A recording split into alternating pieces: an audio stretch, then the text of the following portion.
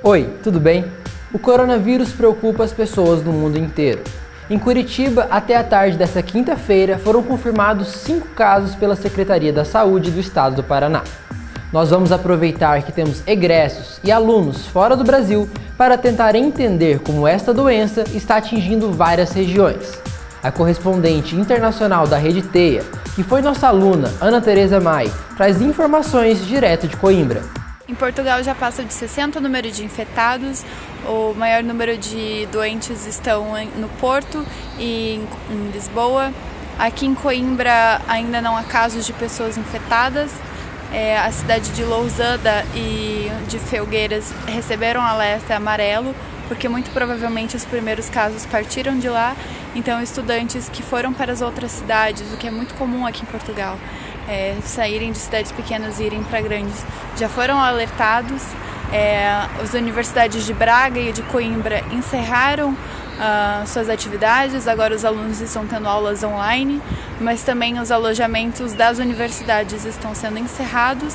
Os alunos estrangeiros vão ser concentrados em alojamentos específicos. Além disso, Portugal também fechou a fronteira com a Itália, que o país que está em quarentena total. Agora vamos com a correspondente Julia Buch, que traz novas informações direto da Espanha. Aqui em Santander nós tivemos pouquíssimos casos confirmados do Covid-19. Então, por enquanto, a aula, trabalho, está tudo seguindo o fluxo normal.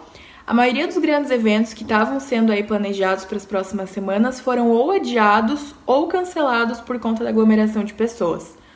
Você vê pessoas andando nas ruas com máscaras, mas por enquanto, comércio, transporte, universidade, escola, tá tudo funcionando normalmente. As orientações que nós recebemos foi para tomar os cuidados básicos, ficar atento aos sintomas e acompanhar as notícias e as atualizações aí sobre o assunto. Eu sou Júlia Bu e eu falo diretamente de Santander, na Espanha, para a Rede Teia. Obrigado, Júlia, pelas informações. E nos Estados Unidos, o presidente Donald Trump proibiu a entrada de aviões que venham da Europa. Vamos falar com Amanda Furman, correspondente em Nova York. Sendo bastante honesta, a minha visão é, aqui é, as coisas estão bem tranquilas, é, o pessoal não entrou em pânico, os mercados estão normais. É, eu visitei pontos turísticos ontem, antes de ontem, poucas pessoas usando máscara. Realmente está bem tranquilo, o pessoal não está em pânico. O presidente é, Trump ele entra direto no, no jornal falando, dando anúncios.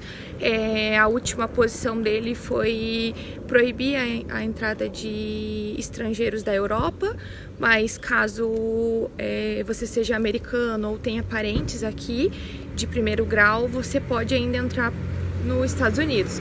Porém, como é, as companhias aéreas não, não vão conseguir preencher voos, eu acredito que as pessoas que estão lá, que são americanas, vão vão sofrer as consequências também desses 30 dias de contenção que o Trump é, anunciou ontem, que eu, se eu não me engano começa amanhã. Então, por hora, aqui as coisas estão tranquilas. Vamos ver nos próximos, nos próximos dias como o vírus se espalha muito rapidamente. Então, é uma situação realmente preocupante. É, eu vim a passeio, né? Como turista, é, é complicado, né? Se, se, a gente tivesse a opção de não ter vindo nessa época, mas como as passagens estavam compradas há muito tempo, a gente acabou vindo do mesmo jeito. É, mas por hora são essas informações aqui é, de Nova York. E é isso. Agradeço aí a participação e acho que a única coisa que temos que fazer é nos prevenir, nos cuidar e pensar no, no grupo de, de risco, né, que são os idosos. É isso. Amanda Furman para a Rede Teia de Jornalismo. Obrigado aos nossos correspondentes pelas informações. Só lembrando que é importante não ficar em estado de pânico vamos seguir as instruções recomendadas pelo Ministério da Saúde. Esse foi o P Notícias de hoje, até a próxima, tchau, tchau!